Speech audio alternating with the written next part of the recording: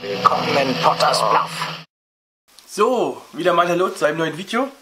Heute zeige ich euch wieder mal ein schönes Mediabook aus dem Hause Anulis. Äh, Habe ich ja letztens schon Fluch der Mumie vorgestellt. Das Video könnt, könnt ihr euch hier anschauen. So, fangen wir gleich mal an. Das ist der Fluch von Sinestro. Wieder mal mit diesem nur aufgelegten Flyer. Hier sehen wir auch schon die Vorschau zu dem nächsten Film, der rauskommt. Und zwar ist das Hände voller Blut. Den kenne ich nicht. Bin schon gespannt drauf. Wieder mal ein neuer Hammer-Film für mich zu entdecken. Sehr schön. Hier, hier finde ich allerdings beide Cover toll. Sowohl die Standard-Edition als auch das wird wahrscheinlich wieder Mediabook werden. Und hier kommt auch noch demnächst, demnächst raus die Contest des Grauens. Kenne ich auch nicht. Also gibt es wieder neues Futter für, den, für die Hammer-Kollektion. So, hier erstmal wunderschönes Cover. Das ist Cover A. Es gibt auch noch ein Cover B, das zeige ich euch hier. Und eine Standard Edition, die zeige ich euch hier. So. Ähm, ja, Fluch von Siniestro. The Curse of the Werewolf. Mit Oliver Reed glänzend besetzt. Einer meiner Lieblings-Hammer-Filme.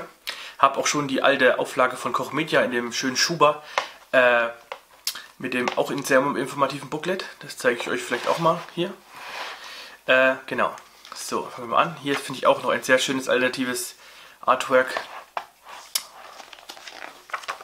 da wieder sehr informativ, ähnlich wie bei Fluch der Mumie. Zum Film muss ich sagen, er ist sehr atmosphärisch, hat einen wunderbaren Anfang mit einer der Entstehungsgeschichte des Werwolfs, die wirklich außergewöhnlich ist. Das ist eigentlich nicht kaum wie in einem anderen Werwolf-Film. Und ähm, äh, schreibt wieder diese schöne äh, Dekadenz des Adels, was immer so gern gezeigt wurde in den alten Hammer-Filmen. Und mit Oliver Reed, der praktisch äh, Englands Exportschlager war, äh, wunderbar besetzt. Toller Film. Also wirklich kann man nicht sagen. Hier ist nochmal das alte das äh, B-Cover. So, wie gesagt, wieder schön dick, informativ. so sollte das eigentlich bei jeder Veröffentlichung sein. Nicht nur Bilder, sondern auch ein bisschen Inhalt, Hintergrund, was immer für Filmfans sehr interessant ist. Das ist die Blu-ray an sich. Hier ist auch wieder nichts, wie bei Fluch der Mumie. So, hier ist die, das Backcover. Ist auch hier in Kooperation mit Kochmedia entstanden, die ja die DVD ausgebracht hatten. Wunderschön. Äh, Gibt es auch wieder viel zu entdecken. Freue mich drauf. Hier nochmal das Bein. Und das passt wie schon bei Fluch der Mumie auch perfekt dazu. Und zu den anderen zwei Veröffentlichungen, die habe ich jetzt leider nicht hier.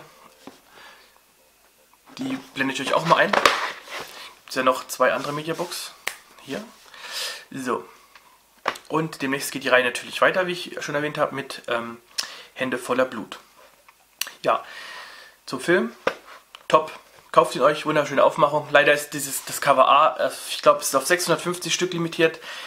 Das ist sehr, also man bekommt es eigentlich nirgendwo mehr, außer nur in, bei Ebay vielleicht oder Filmundo und dann, aber meistens jetzt schon über 50 Euro, deswegen ist das ein bisschen teuer. Das B-Cover ist auch sehr schön, aber ich fand das noch einen Tick besser, mehr atmosphärischer und ähm, ja, Schlag zu, solange es noch gibt. Oder holt euch die Standardvariante. Ist ja wurscht. Die Disk ist ja dieselbe. Äh, das ist halt eher was dann für Sammler. Auch wieder mit dieser Lederoptik. Und wer Oliver Reed toll findet, schaut euch unbedingt den Film an. Landhaus der toten Seelen. Das ist, eine, das ist einer meiner Lieblingshorrorfilme überhaupt. Super atmosphärisch und äh, kann ich nur jedem wärmstens empfehlen. Ja, das war's auch schon wieder. Ich hoffe, euch hat das Video gefallen. Könnt mir schreiben, wie ihr äh, der Fluch von Sinestro fandet oder ähm, was euer Lieblingshammer-Film ist. Und äh, ich verlinke euch auch mal hier meinen Kanal. Ihr könnt abonnieren, wenn es euch gefällt. Da gibt es auch viele andere Reviews von alten und neuen Filmen, Kinofilmen, DVDs, Blu-rays und auch Soundtracks auf Vinyl. Also, macht's gut.